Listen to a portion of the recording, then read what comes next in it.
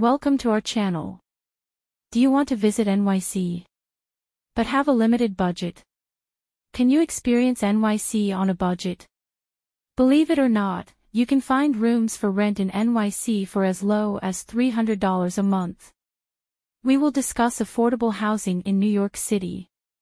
Yes, you heard that right, rooms for just $300 a month.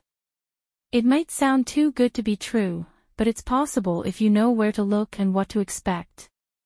First, let's talk about the neighborhoods.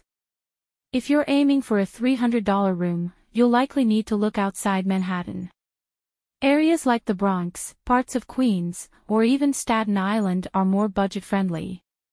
These neighborhoods offer a true NYC experience without the Manhattan price tag.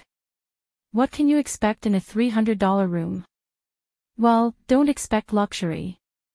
These rooms are typically small, sometimes with just enough space for a bed and a few essentials.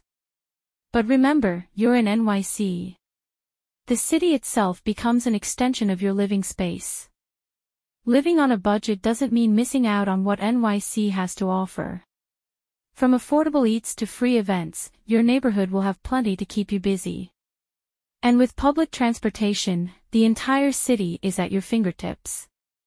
Websites like Craigslist, Roomster, or local Facebook groups are great places to start. But be cautious, always visit the space in person and meet your potential roommates before signing any agreements. Living in New York City on a budget is definitely possible if you know where to look and what to expect. A $300 room might not be glamorous, but with basic amenities you can comfortably stay there. For more information or to book your stay at this price visit the site hotelinfopedia.com. Do like, share, and subscribe the channel. Thank you for watching.